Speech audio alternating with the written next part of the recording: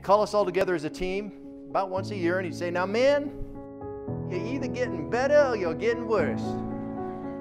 You can't stay the same. Now, Dan said a lot of things I'm still trying to figure out. But I understand that. Change is inevitable, it's going to happen.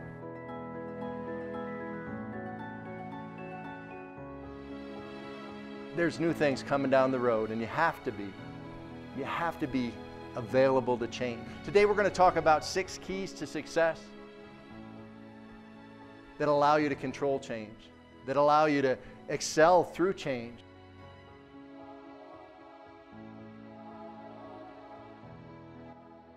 Change is inevitable.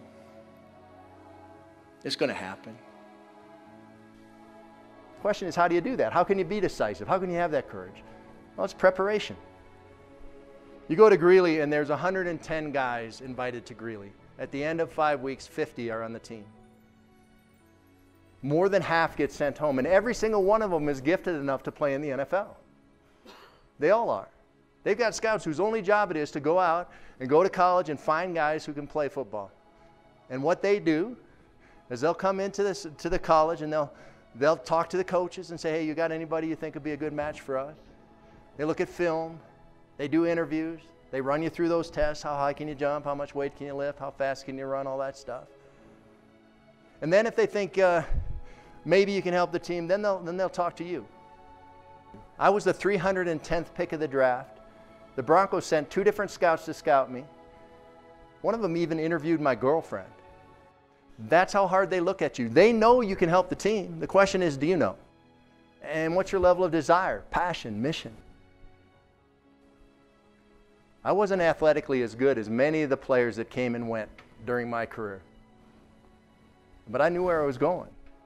Uh, he was widely considered the most versatile player in the NFL and he played all seven defensive front positions, often in the course of a single game. Can you tell I loved my job? In 1987, Karl was selected as both the AFC Linebacker of the Year and the AFC Player of the Year.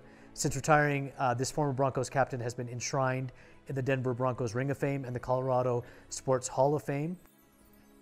Now, I'm, uh, I'm 56 years old now. I'm, I'm not Peyton Manning. I can't play anymore.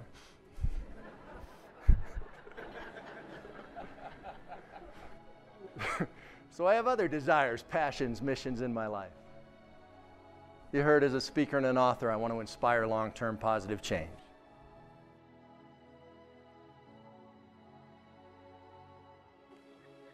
This particular osprey, this crunchy osprey that was spread on the ground before me, had been collected in 1910.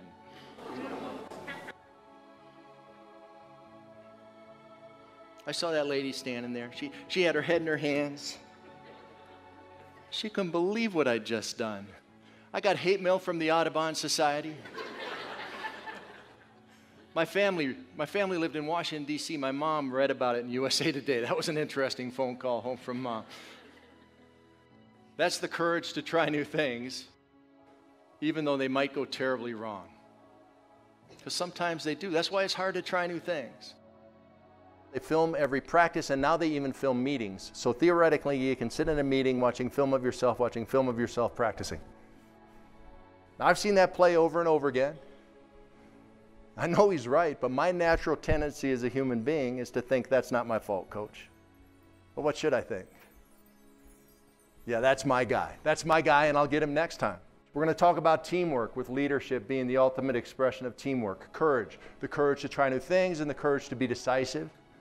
Dedication, which is hard work, constant learning, refusing to quit. Desire, that's the dream, the passion, the mission. Honesty and forgiveness with yourself and self evaluation and with others. And finally, goal setting, the little steps that get you to that dream, that passion, that mission. A team is like a teeter totter or a seesaw. On one side, you've got the leaders. They think long term, they think we instead of me. They put that team passion, that team mission first. On the other side, you've got the egos. They think short term, Where's my money? How little can I do today and still keep this job? You know that person. The rest of the team's in the middle, and this is the largest group. They can kind of go either way. That's how it happens in the NFL. That's how it happens in my family. That's how it happens in businesses. That's how it happens in communities. That's how it happens in governments. That's how one person can make a huge difference in a large team concept.